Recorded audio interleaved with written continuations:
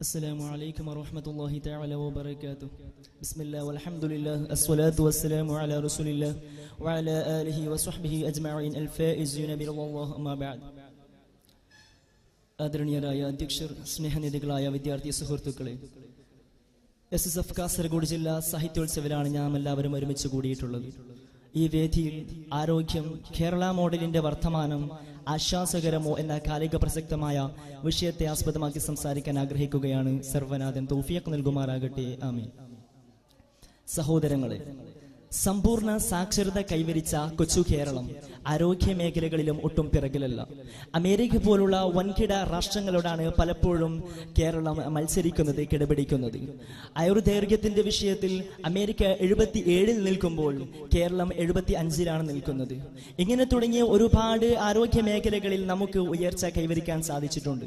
മാത്രവുമല്ല ആരോഗ്യ ബോധവൽക്കരണത്തിലും പ്രതിരോധത്തിലും ചികിത്സയിലും ഊന്നിക്കൊണ്ട് കേരളത്തിലെ അവതരിപ്പിക്കുന്ന കേരള മോഡൽ ഹെൽത്ത് ആരോഗ്യത്തിന് ഒരു മാതൃക എന്നോണമുള്ള ഒരു പരിപാടി.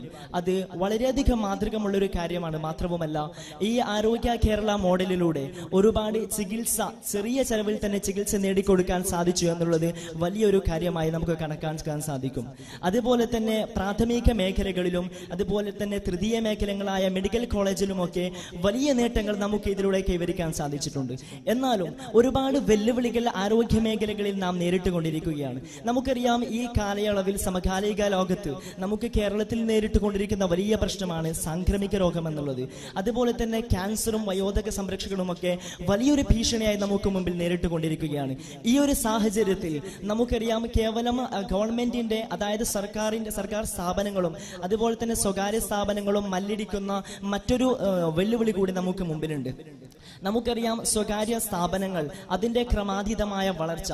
തൊള്ളായിരത്തി എൺപത് കാലഘട്ടങ്ങളിൽ ഒമ്പതിനായിരത്തി അറുന്നൂറ്റി അറുപത്തി മൂന്നുണ്ടായിരുന്ന സ്വകാര്യ സ്ഥാപനങ്ങൾ രണ്ടായിരത്തി നാലിലേക്ക് എത്തുമ്പോൾ അത് ആയിരത്തി ഇരു- പന്ത്രണ്ടായിരത്തിലധികമായി ഉയർന്നു വരുന്ന ഗണ്യമായി വർദ്ധിച്ചു വരുന്ന ഒരു കാഴ്ചയാണ് നമുക്ക് കാണാൻ സാധിച്ചത്. ഇത് സ്വാഭാവികമായിട്ടും ചികിത്സാ ചെലവ് വർദ്ധിപ്പിക്കുകയും സാധാരണക്കാരനെ കാര്യമായി ബാധിക്കുകയും ചെയ്തിട്ടുണ്ട്. മാത്രവുമല്ല തൊള്ളായിരത്തി എൺപത്തി അഞ്ച് കാലഘട്ടങ്ങളിൽ അഞ്ച് ശതമാനം ഉണ്ടായിരുന്ന ചികിത്സാ ചെലവ് അത് രണ്ടായിരത്തി നാല് കാലഘട്ടം എത്തുമ്പോൾ പത്ത് ശതമാനമായി ഉയർന്ന ഒരു ഭീതിതമായ അന്തരീക്ഷം നമുക്ക് കാണാനിടയായി. അതുപോലെ തന്നെ മറ്റൊരു കാര്യം മരുന്ന് വേട്ടയാണ്. നമുക്കറിയാം മരുന്ന് ലോബികൾ ഒരുപാട് നമുക്കിടയിൽ പ്രവർത്തിക്കുന്നുണ്ട്.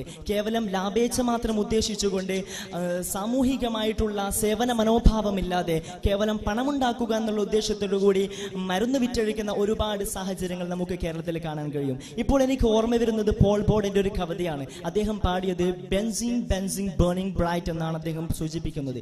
ബെൻസിൻ എന്ന് പറയുന്ന ഒരു മരുന്ന് അതിവിരുദ്ധമായ മരുന്ന് അതൊരു ദൈവിക സിദ്ധി പോലെ അവിടെ നിന്നും പരിചയപ്പെടുത്തിക്കൊണ്ട് burning engines day and night എന്ന് അദ്ദേഹം സൂചിപ്പിക്കുകയാണ്. എന്നിട്ട് ആ മരുന്നിനെ ഒരു അത്ഭുത സിദ്ധി പോലെ മുന്നോട്ട് വെച്ച് പിന്നീട് അതിന്റെ ദൂഷ്യഫലങ്ങളെ കുറിച്ച് ഓർമ്മപ്പെടുത്തുന്നത് blow or dell our mind weight pills എന്നാണ്. മരുന്നുകൾ ഉപയോഗിച്ചുകൊണ്ട് ഞങ്ങളുടെ മസ്തിഷ്കത്തെ തന്നെ നിങ്ങൾ ചോർന്നെടുക്കുക നിങ്ങൾ കവർന്നെടുക്കുക എന്നുള്ള ഒരു മഹത്തായ ഒരു ആശയം മരുന്നു ലോബികളെ കുറിച്ച് അദ്ദേഹം പ്രതിപാദിക്കുമ്പോൾ എന്തു എങ്ങനെയാണെങ്കിലും കേരളത്തിലെ സമകാലിക സാഹചര്യത്തിലേക്ക് വളരെയധികം ഉൾക്കൊള്ളുന്ന ഒരു കവിതയാണെന്ന് നമുക്ക് സാന്ദർഭികമായി ഓർമ്മപ്പെടുത്താൻ സാധിക്കും.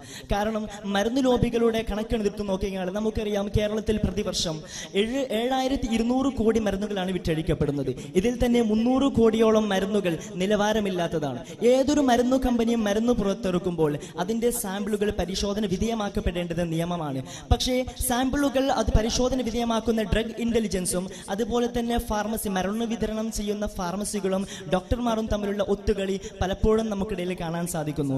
അതിന് ഏറ്റവും വലിയ ഉദാഹരണം മൂന്ന് വർഷങ്ങൾക്ക് മുമ്പ് അതായത് രണ്ടായിരത്തി പതിമൂന്ന് കാലഘട്ടത്തിൽ അയച്ച സാമ്പിൾ ഡ്രഗ് ഇന്റലിജൻസിന് അയച്ച ചില മരുന്നിന്റെ സാമ്പിളുകൾ ഇതുവരെ അതിന്റെ റിപ്പോർട്ട് പുറത്തു വന്നിട്ടില്ല എന്നുള്ളത് വളരെയധികം ഭീതിയോട് കൂടിയാണ് നാം കാണേണ്ടത്.